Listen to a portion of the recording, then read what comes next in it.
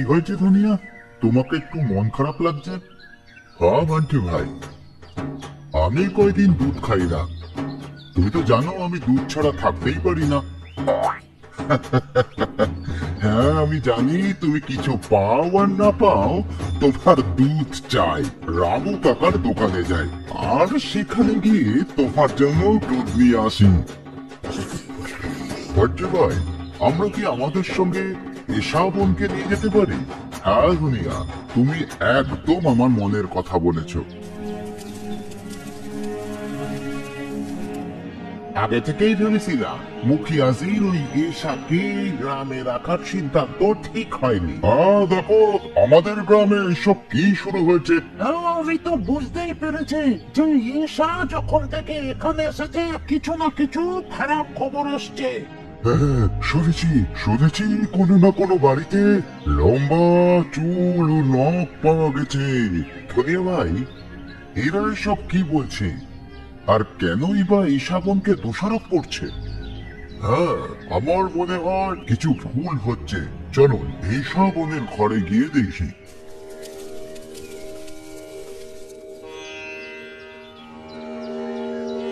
এত সকালে ঈশাবন কোথায় গেল চলো মুখিয়াজির কাছে যাই। বাকি সব কথা বলি। হ্যাঁ চলো।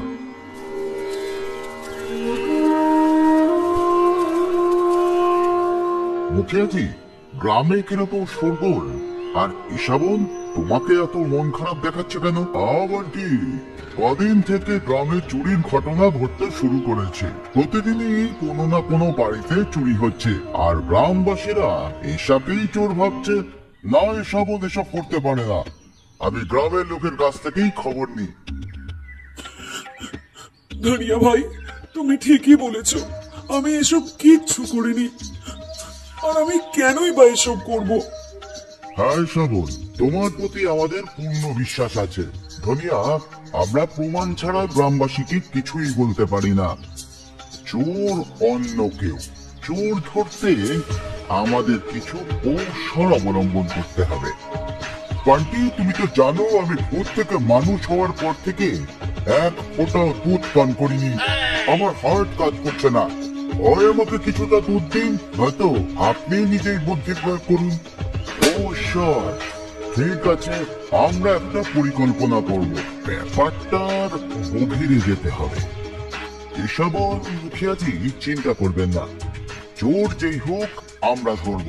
এখন আপনি আপনার বাড়িতেই চলে যান এবং রাতের জন্য অপেক্ষা করুন। আমি মনে করি না যে এশা এটা করতে পারে, তবে গ্রামবাসীরাও মিথ্যে বলবে না। চলো ধনিয়া, আমরা ঈশাকে অনুসরণ করি, তাহলে দেখা যাক, আমরা হয়তো কিছু ক্লুই পাবো।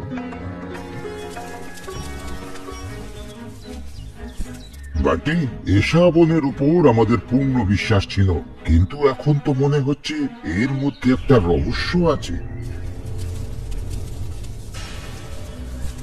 আরে মহাদেব আমার কি হচ্ছে? এখন মনে হচ্ছে আমি শখ চুনি হয়ে সুখী ছিলাম। মহাদেব আমাকে আশীর্বাদ করুন এবং আমাকে এই কষ্ট থেকে রক্ষা করুন। এশা বোন তুমি চিন্তা করো না। আমরা দুজনেই তোমাকে সাহায্য করব। বান্তি ও ধনিয়া ভাই তোমরা কি করে এখানে এলে? এসবন আমাদের মাফ করে দাও। যখন আমরা দেখলাম তুমি বাড়ি না গিয়ে বনে যাচ্ছিলে তখন আমাদের দুজনের মনেই সন্দেহ হয়। হ্যাঁ এসবন আমাদের ক্ষমা করে দাও। বুঝলাম। কিন্তু আমি তো কোনো চুরি করিনি। এসবু এখন আমরা বিষয়টা মিটিয়ে ফেলব।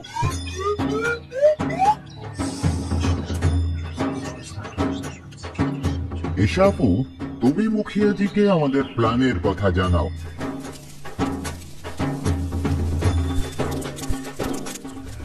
দুনিয়া, আজ মুখিয়াজি ধনী হয়ে যাবে। কিন্তু কীভাবে তুমি জানো না, মুখিয়াজি শহর থেকে লটারি টিকিট এনেছিল, আর পাঁচ লাখের লটারি জিতেছে। সে টাকাও পেয়েছে।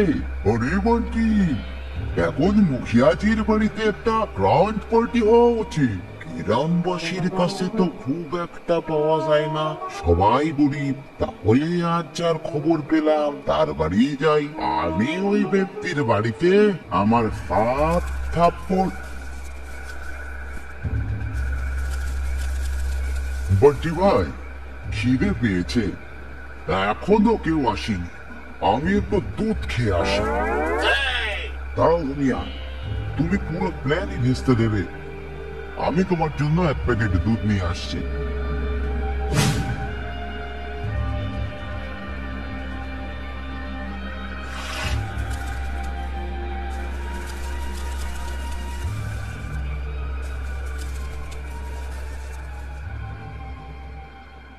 হ্যাঁ? এখানে তো কোনো টাকা নাই। আমার মনে হয় ওই লোকটা সব টাকা সঙ্গে করে নিয়ে গেছে। তাই সে ফিরলে আবার আসব।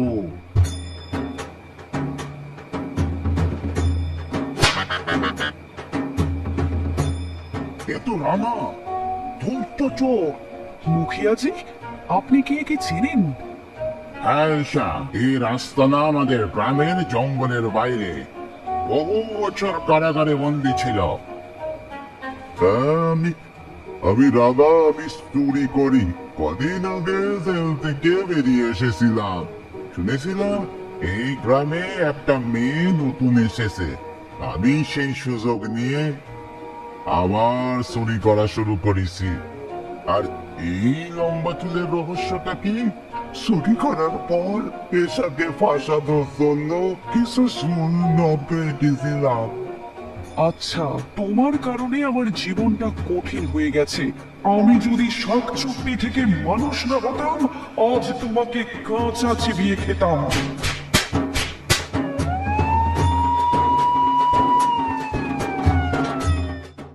ছোট্ট বন্ধুরা, আজকের এই ভিডিওটি তোমাদের ভালো লাগলে অবশ্যই ভিডিওটি লাইক করে দিও। আর এরকম নতুন নতুন গল্প শুনতে চ্যানেলটি সাবস্ক্রাইব করে নিও। দেখা হচ্ছে পরের ভিডিওতে। ততক্ষণে ভালো থেকো।